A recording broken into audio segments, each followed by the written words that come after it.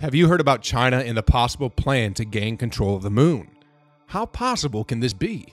How true are NASA's claims? Recently, Bill Nelson, a NASA administrator, raised worries about China's space plans, specifically that China would somehow claim control of the moon and forbid other nations from exploring. Even though they denounced this as untrue, their recent activity says otherwise, claiming the moon is illegal under space law. In recent years, China has been vigorously expanding its national space program. They were the first nation to successfully land a spacecraft on the moon's far side in 2019. China and Russia announced cooperative ambitions to go to the moon's south pole by 2026 in the same year. Additionally, according to certain Chinese officials and government papers, a permanent manned International Lunar Research Station will be constructed by 2027, Nelson predicted that by 2035, China would have finished building its own moon station and would have launched multiple lunar missions. Recent scientific research claims China intends to shield the Earth from asteroids by defending the moon. According to scientists working on the project, Beijing may expand the planetary defense system it is building in China to the moon and beyond to shield the Earth from asteroids that might conceivably wipe out a city or human civilization putting three Guardian satellites into the moon's orbit around the Earth with plenty of fuel and kinetic weaponry is part of the new plan, according to Wu Weiren, the lead designer of the Chinese lunar exploration program. On the south and north poles of the moon, two optical telescopes would be constructed to scan the sky for any hazards that elude the ground based early warning system, particularly those coming from the sun's blind side. According to the plan, the system would send one or all of the Guardian satellites to intercept an asteroid with a lead time as short as one week when it detects a surprise visitor that could cause significant damage. This would be faster than any large rockets launched from Earth. In a paper that was published in the Chinese peer reviewed journal Scientia Sinica Informationis on Wednesday, Wu and his colleagues claimed that the system would be able to intercept incoming asteroids from all directions and could form a defense circle that was about 800,000 kilometers in diameter, or about twice the distance between the Moon and Earth. China is constructing a massive radar and telescope based Earth defense system in an effort to control a mass extinction event similar to the one that took off the dinosaurs some 65 million years ago. However, Wu asserts that an Earth based system has its limitations. According to an estimate by astrophysicists, around 60% of asteroids large enough to kill a country were not discovered and tracked by humanity, even if the likelihood of an extinction level impact remains low. Prior to the asteroid strike, none of the significant impacts that have occurred on Earth since the 1970s had raised the alarm. According to Wu's team, all of these asteroids originated from the sun's direction. However, before breaking ground on the moon, China would first fly satellites into the moon's orbit to test its most advanced tracking, surveillance, and interception technology. The researchers plan to send 20 rockets to practice diverting asteroids away from the Earth. Each of these rockets weighs about 900 tons when they leave the Earth, simultaneously potentially diverting the asteroid from its original part.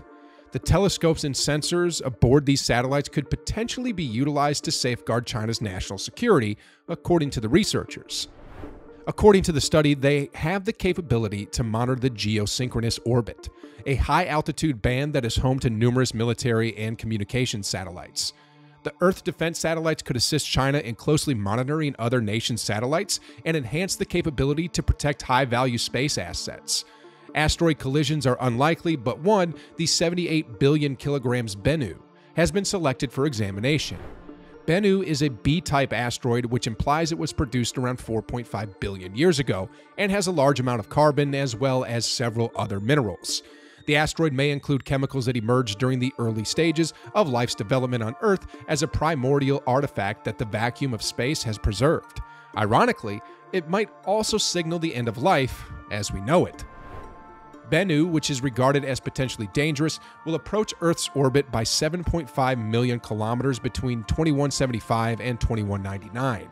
Bennu has a 1 in 2700 probability of hitting Earth, but Given the potential damage the asteroid may wreak, experts are nevertheless worried about the possibility. The asteroid would need to be diverted with a tremendous amount of kinetic force, but using nuclear power runs the risk of shattering an asteroid like Bennu into pieces that may still strike the Earth. This makes sending numerous rockets, each of which would need three years to travel before reaching their destination, a more feasible alternative. In 10 years, according to researcher Li Mingtao, it is possible to protect against huge asteroids with a nuclear free technology, the South China Morning Post reported. Unused rocket fuel may provide more thrust and increase the rocket's overall mass, increasing deflection effectiveness. According to the experts, adding thrusters would be all that is needed to make existing rockets suitable for the mission. An asteroid of this magnitude requires enormous amounts of kinetic energy to be diverted, yet, employing nuclear energy runs the risk of shattering the asteroid into smaller fragments that might still destroy Earth. This makes sending numerous rockets, each of which would need three years to travel before reaching their destination, a more feasible alternative. Similar efforts are being planned by the US, including Hammer, which would launch 400 tons of rocket material to Bennu and shorten the journey's duration to two years. That strategy would cost more money and need more time to execute. The Chinese proposal would just require a decade's notice, whereas the United States would need 25 years to find the asteroid. Bennu is being pursued by a spacecraft that NASA also launched to gather samples from the asteroid. Before lowering its 3 meter long arm to gather stray rock fragments, OSIRIS REx hovered above the asteroid. NASA anticipates OSIRIS REx's arrival back to Earth in 2023, along with its samples.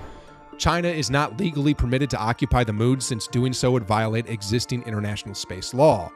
Outer space, including the moon and other celestial bodies, is not subject to national appropriation by claim of sovereignty, by means of use or occupancy, or by any other means. The 1967 Outer Space Treaty, which was signed by 134 nations, including China, states expressly Although legal experts disagree on the precise definition of appropriation, the treaty indicates that no government can claim ownership of the moon and declare it's an extension of its national aspirations and prerogatives.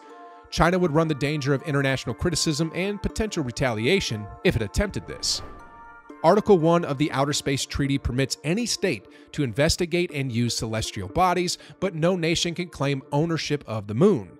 China won't be the only country to travel to the South Pole of the Moon in the near future.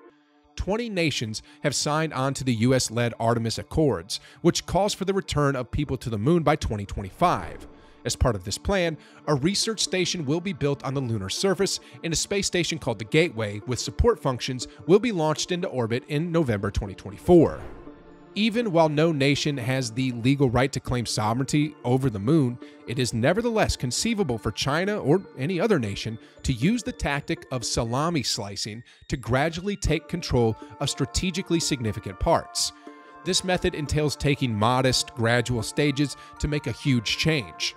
Individually, those actions do not call for a strong reaction, but their combined impact results in considerable development and greater control. In the recent past, China has employed this tactic in the South and East China Seas. Even so, addressing such a strategy takes time.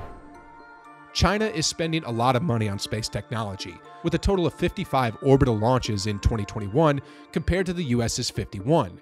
It took the lead in this category. China ranks among the top three nations for spacecraft deployment in 2021.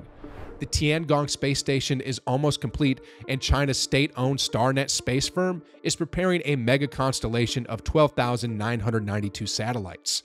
The cost of taking over the moon would be substantially more than the cost of traveling there.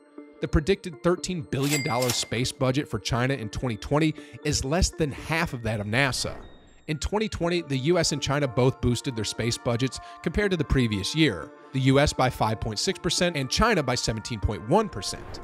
All that the Chinese have done and are doing concerning space is why NASA is suspicious of their motive. In response to the director of NASA's comments, the Chinese government expressed its outrage, claiming that the accusations constitute a grave threat to the peaceful use of space. According to China, its space exploration is always done to further laudable economic, social, scientific, technological, and security goals. What do you have to say about China taking over the moon? Let us hear from you in the comments below.